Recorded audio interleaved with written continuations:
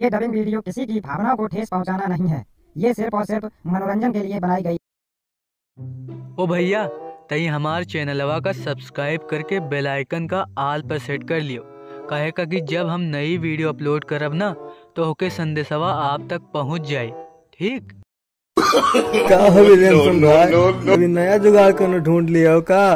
अब तुम जुआरी बन जाइयो का? अब मैचवा ना खेलबो तुम का? Hey man! तुम किधर से आ गया यार? तुम हमको फिर परेशान करने आ गया। हम अब मैच नहीं खेलेगा क्योंकि तुम लोग हमको रन नहीं बनाने देता है तो हम मैच नहीं खेलेगा। का बोले हो विलियमसन भाई?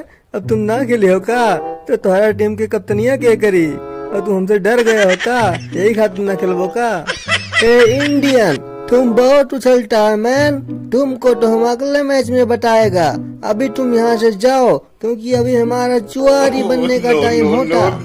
का बोले हो टॉम बंडल? तुम हमका देखियो का? अभी तेरह रन और दो रन बना के दोनों पारी में आउट हुए हो। और तुम हमका देखियो का? और तुम्हारा का भरोसा? अगला मैच में खेलोगे खेलबे ना करो? हाँ हाँ पटेल भैया तुम बिल्कुल सही बोलता। लेकिन हमारे पास डेविड कौन बे नहीं होता ना?